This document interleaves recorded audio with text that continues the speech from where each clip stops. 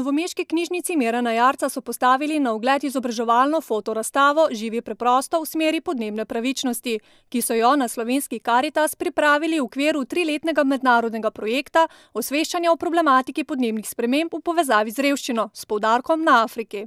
Pripravili smo pripravili to razstavo. To je le ena izmed aktivnosti, ki potekajo v okviru tega projekta.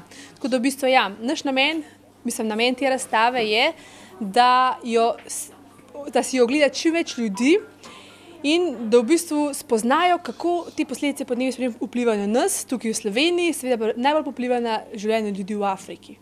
Svoje poglede na vpliv podnebnih sprememb sta predstavila tudi goste iz Malavija, revne afriške države. Sprememba podnebja je vplivala na naše okolje na več načinov.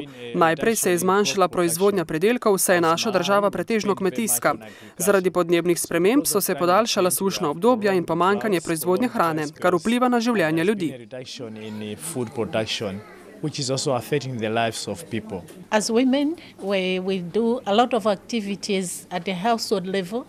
So climate change has um, Ženske naredimo veliko stvari doma. Klimatske spremembe so močno vplivali na ženske, ker so glavne pridelovalke hrane. Da afriška ženska pridela hrano, mora zelo veliko delati. Načini pridelave hrane so zelo težki in klimatske spremembe so negativno vplivali na to.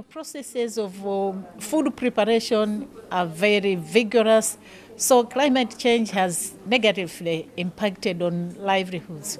Lahko rečemo, da je svet danes ena velika globalna vas.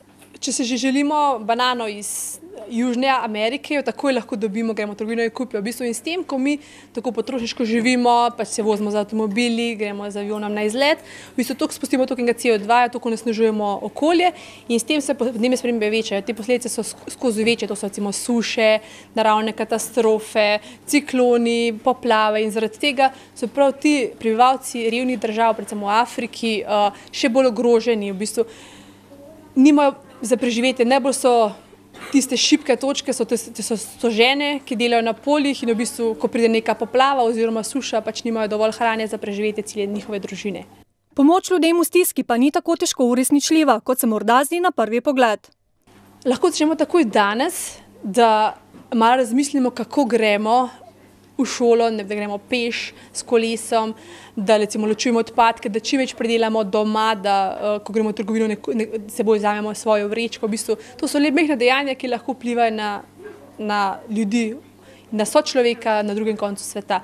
Seveda pa tudi kakšen. Uh, kakšna druga pomoč, kakšna finančna pomoč, seveda njih prav zelo pride, ker pač da jim lahko pač pomagamo pri izgradnji zdravstvenih centrov, šol.